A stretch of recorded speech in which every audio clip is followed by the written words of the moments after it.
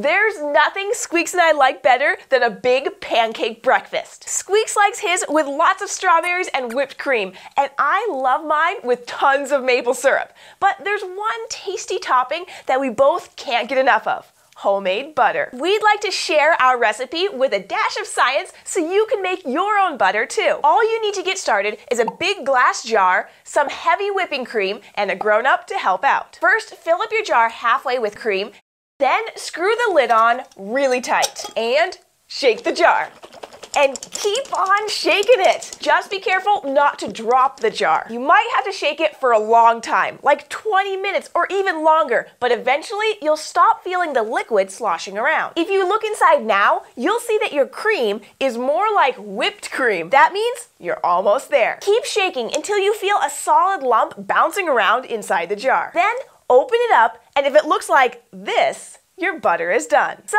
we made ourselves a tasty treat. But how does this plain old cream turn into butter? Well, it all starts with milk. You might already know that milk comes from a cow. And when the milk first comes out of the cow, it has a lot of fat in it. Animals use fat for energy and other important jobs. And milk has lots of it to help the cow's baby calves grow healthy and strong. If you let the milk sit out for a few minutes after it comes out of the cow, the fat will float to the top. Then farmers can separate the fat from the rest of the milk. That extra fatty liquid is what we call cream. When you pour cream into a jar and shake it, the little bits of fat in the cream start to bump into each other and stick together. That's why the cream starts to get thicker and thicker. Those bigger clumps of fat don't slosh around as much. Eventually, the fat all collects into a big solid lump and separates completely from the liquid. The lump becomes what we call butter, and the liquid is called buttermilk, which you could also use to cook cook things like pancakes and biscuits. There are lots of other ways to make cream into butter, like with a butter churn, a mixer, or even in giant spinning machines in factories. But they're all doing pretty much the same thing that you're doing when you shake up your jar. Once you're a butter making expert, you can add salt or other flavors to your butter too. Okay, Squeaks, our butter is done. Let's get back to the kitchen and dig into our pancakes. And thank you for joining us today. Do you have any questions about the science behind your favorite foods?